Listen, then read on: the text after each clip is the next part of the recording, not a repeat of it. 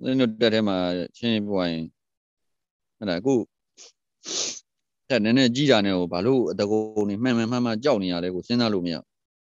တက်မလို့နဲ့မတူဟိုဘယင်ဘယင်နေလို့လို့ကျွန်းနေလို့လို့နဲ့အဲ့လိုစနစ်ကိုသွားဟမ်ဘလောက်မှန်နေနေပြောရင်မင်းဘာကောမလို့တော့နော် no complain လို့ဘာလို့ဒါမျိုးတွေသွားတော့နော်မှန်တိုင်းမှားတာမသိဘူး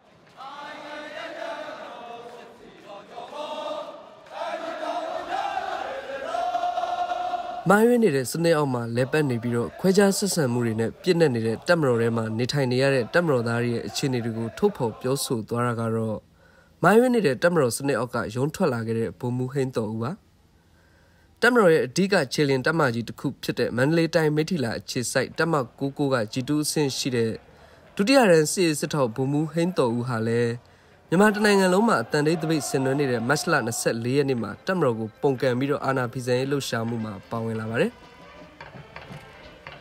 ဗိုလ်ချုပ်မူကြီးမင်းအောင်လှိုင်ရဲ့ဖေဖော်ဝါရီလ1ရက်နေ့စစ်အာဏာသိမ်းမှုအပေါ်မကျေနပ်ကြတဲ့တက်မတော်သားအများပြားဟာလည်းအာဏာဖီဆန်ရေးလှုပ်ရှားမှုစီဒီအမ်မှာပါဝင်လာကြပါတယ်။ဗိုလ်မှူးဟိန်းတော်ဦးဟာသူတာဝန်ကြရာရှေ့တန်းစစ်မျက်နှာပြင်ဖြစ်တဲ့ရှမ်းပြည်နယ်မြောက်ပိုင်းလာရှုံမြို့အနီးမှာ သူ့အထက်အရာရှိတွေနဲ့အစည်းအဝေးလုပ်နေတော့မှပဲနှစ်20နီးပါးတာဝန်ထမ်းဆောင်လာခဲ့တဲ့စစ်တပ်ကိုကြောခိုင်းစွန့်ခွာခဲ့သူပါသူ့လိုပဲအမှန်တရားကိုလိုလားသူတက်မတော်သားအများပြားဟာလည်းဒီအာဏာသိမ်းမှုကိုမတရားမှန်သိကြပေမဲ့ရုံးထွက်ဖို့ခက်ခဲနေတယ်လို့ဗိုလ်မှူးဟိန်းတော်ဦးကဆက်ပြောပါတယ်ဟုတ်လားဒီဖယ်ကျင်တဲ့သဘောပေါ့နော်ဖယ်ကျင်တဲ့သဘောကိုတက်မှာအများကြီးတုံးတာခုမှတုံးတာမဟုတ်ဟိုးငကိုကလေးကတုံးအဲတခုခုသူတို့နဲ့မတည့်ဘူးမကြည့်ဘူးအဲ့ကောင်ဘေးကိုရောက်ရောက်ပြီးရင်ဘေးရောက်တဲ့ပြုံဒုက္ခပါရောက် ဒါမျိုးနည်းစနစ်တွေလည်းတုံးနေတဲ့အတွက်ကိုတော့ဟွာဖြစ်ဘူးနော်သူတို့မှအဲဒီအတွက်ကိုဘယ်လိုဖောက်ထွက်ရမလဲဆိုတော့တချို့တွေကဒါဖောက်ထွက်တိုင်းနဲ့အတွေးခေါ်ရှိတဲ့လူရှိမရှိတဲ့လူရှိဖောက်မထွက်ခြင်းတဲ့လူရှိအဲဒီဒီဟာမျိုးတွေမှာသွားတဲ့အချိန်မှာဟုတ်လားဒီဖောက်ထွက်ခြင်းပေမဲ့လို့ခုနကပြောတဲ့အကြောက်တရားကြီးစိုးနေတော့သူကအဲ့ဒီအတွက်ကိုဖောက်ထွက်လို့ရမယ်အသိဉာဏ်လည်းသူကမတွေးနိုင် နော်အဲ့အဲ့နှစ်ခုနဲ့တွားညှိနေပြီးတော့အာဝမ်ဖြစ်ဘူးထွက်ချင်နေရတော့တော်တော်များများကြာနေပြီတိတ်နေတာတော့တက်ကြကြီးအစဉ်လက်မောင်း၃ရက်ကနေစပြီးတော့ဟိုးအပေါ်ပိုင်းနေရတော့မယုံသွားမေးကြည့်လိုက်အပြင်မှာထွက်ချင်လားဆိုကပြီးတော့တောင်ထွက်သွားအောင်ဟမ်အဲ့တော့လေသူတို့ကတခြားဟာတွေနဲ့လည်းပြန်ချုပ်ထားတာပေါ့ဗမှုဟင်းတော်ကတက်တွင်းမတရားမှုတွေကိုလက်မခံနိုင်တဲ့အတွက်အာဏာမသိမ်းခင်ကတည်းကတက်မတော်ကထွက်ဖို့ကြိုးစားနေတဲ့သူပါ။ တက်မတော်ကအာဏာသိမ်းပြီးတဲ့နောက်မှာတော့အာဏာသိမ်းမှုကိုလက်မခံနိုင်တဲ့အတွက်တက်မတော်ကိုစွန့်ခွာဖို့ဆုံးဖြတ်ခဲ့ပြီးအခွင့်အရေးရတဲ့အချိန်မှာစွန့်ခွာလာခဲ့တာဖြစ်ပါတယ်။ရေဦးတော်လိုင်းကာလာမှာစစ်ကောင်စီတပ်တွေရဲ့အကြမ်းဖက်ပစ်ခတ်ဖြိုခွင်းမှုတွေကြောင့်အပြစ်မဲ့ပြည်သူ800နီးပါးကြာဆုံးခဲ့ရတယ်လို့နိုင်ငံရေးအကျဉ်းသားများကူညီဆောင်ရှောက်ရေးအသင်း AAPP ကထုတ်ပြန်ထားပါတယ်။ဒီအကြမ်းဖက်မှုတွေကိုစစ်မြေပြင်တပွဲသဘောထားပြီးနေပြည်တော်ကဓာတ်ရိုက်ညွှန်ကြားနေတာဖြစ်တယ်လို့ဗိုလ်မှူးဟိန်းတော်ဦးကပြောပြပါဗျ။ ဒီမြေပြင်အဖွဲတွေလှုပ်ရဲကင်ရင်အောင်လို့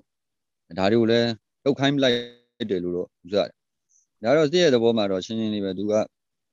ဟာဒီသူတို့ကတော့ဒါစစ်မြေပြင်လို့လည်းသတ်မှတ်လိုက်တဲ့သဘောလည်းဖြစ်တာပေါ့အဲ့လိုသတ်မှတ်လိုက်လို့လည်းဒီနေ့လိုပစ္စည်းလူတာတွေဘာတွေအဲ့ဒါကြတော့ဘာလို့လှုပ်လဲဆိုရင်သူက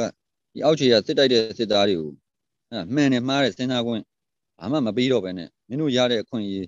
ဒီစစ်ကိုတိုက်တဲ့အတွက်မင်းတို့ဒီခွင့်အရေးရမယ်ဆိုပြီးတော့ ဆွဲဆောင်တဲ့နီလန်တစ်ခုပဲပေါ့အဲ့တော့စစ်တိုက်တယ်ဆိုတော့အများကြီးတော့ရှုပ်ထွေးပါတယ်သူတို့ကတော့အိုင်နီလန်ကိုသုံးပြတာပေါ့ဒါလည်းဆိုရင်ကိုယ်နိုင်ငံအပေါ်အတွက်တော့လုံးဝမသုံးသင့်ဘူးလို့တော့ဦးဇင်းကတော့ထင်တာပဲကိုယ်နိုင်ငံချင်းသုံးသင့်တဲ့ဟာမျိုးသူတို့သုံးပလိုက်တာအခုဆိုရင်တော့ပြည်သူကရွေးကောက်တင်မြှောက်ထားတဲ့ပြည်သူအစိုးရတရက်ဖြစ်တဲ့အမျိုးသားညီညွတ်ရေးအစိုးရအဖွဲ့ NUG ကလည်း အမှန်တရားကိုလိုလားပြီးအာဏာသိမ်းမှုကိုမနစ်မြို့တဲ့စစ်ဗိုလ်ချုပ်တွေသူတို့နဲ့ပူးပေါင်းမှုအတွက်ဧပြီ16ရက်သတင်းစာရှင်းလင်းပွဲမှာဖိတ်ခေါ်ထားပါတယ်။ငញ្ញရင်ဆွေးနွေးပွဲတွေမှာအဓိကအခမ်းကဏ္ဍကပါဝင်ခဲ့တဲ့ဒေါက်တာလျံမုံဆက်ခေါင်းဟာစစ်ဗိုလ်ချုပ်ကြီးတွေနဲ့ရင်းနှီးတဲ့ဆက်ဆံရေးရှိသူတစ်ယောက်ဖြစ်ပါတယ်။ငញ្ញရင်ဆွေးနွေးပွဲတစ်လျှောက်မှာသူနဲ့ရင်းနှီးတဲ့စစ်ဗိုလ်ချုပ်ကြီးတချို့ဟာမင်းအောင်လှိုင်အာဏာသိမ်းမှုအပေါ်မကျေနပ်ကြဘူးလို့ဒေါက်တာလျံမုံဆက်ခေါင်းကပြောပါတယ်။မင်းအောင်လှိုင်ကိုထားခဲ့ပြီးတော့ပြည်သူလူထုအတွက်တာဝန်ယူဆောင်ရွက်နေတဲ့ ကျွန်တော်တို့အစိုးရနဲ့လာပြီးတော့ပူပေါင်းကြပါလို့အဲ့ဒီဘူချုပ်ကြီးများလူတိယဘူချုပ်ကြီးများကျွန်တော်တို့တိခဲ့တဲ့ဘူချုပ်ကြီးများကိုကျွန်တော်ဒီကနေနာမည်ပေါ်ပြလို့တော့မကောင်းဘူးဒီဘူချုပ်ကြီးတဲ့ကျွန်တော်တို့နဲ့အမြန်ဆုံးလာပူပေါင်းကြပါမြင့်အောင်လိုက်နှုတ်လိုက်ခြင်းအပြင်လူကြီးမင်းတို့ရဲ့တမိုင်းလေးဂျိုင်ကားသွားမှာဖြစ်တယ်လူကြီးမင်းတို့သားရှင်မင်းရှိ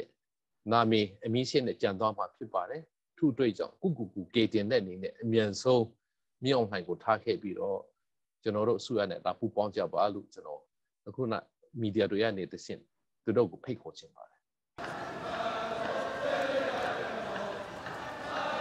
တချိန်ကသူတာဝန်ထမ်းဆောင်ခဲ့တဲ့တပ်မတော်တွေကလုတ်ဖို့ကင်ဘက်ဟောင်းတွေကိုတော့ပုတ်ခတ်စော်ကားတာမျိုးကိုမလုပ်ဆောင်ပေမဲ့အမျိုးသားညီညွတ်ရေးအစိုးရကဖော်ဆောင်မဲ့ Federal တပ်မတော်ပေါ်ပေါက်လာမယ်ဆိုရင်တော့ အကူအညီပေးဖို့အစင်းသင့်ပါလို့လက်ရှိမှာတာသနာပေါင်ဝင်နေတဲ့ဥဒ္ဓမတာမိတစ်ဖြစ်လဲဘုံမူဟိန်းတော်ဦးကဆိုပါတယ်သူတို့မှခိုင်းနေရရှိတယ်ဆိုရင်ဒါဥဒ္ဓနုဟလာတက်နိုင်တယ်ကိုလည်းသိတယ်ဆိုရင်